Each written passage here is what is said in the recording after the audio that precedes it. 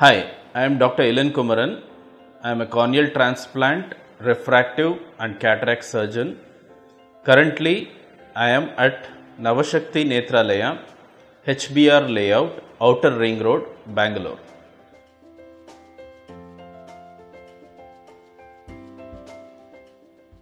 Normally, there was a concept that lazy eye is treatable only till 7 years or 12 years of age. Of late, there have been various studies which have proven that it is treatable till a minimum of 17 years of age. So, the answer to the question is yes, lazy eye is treatable even in teenagers.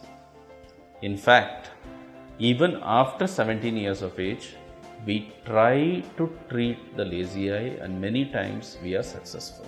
The most important thing when you are treating it after 7 years of age is aggressive treatment. In the sense, usually lazy eye is treated by giving appropriate spectacles, which is uh, refractive correction, and by closing one of the eye, which is called occlusion therapy.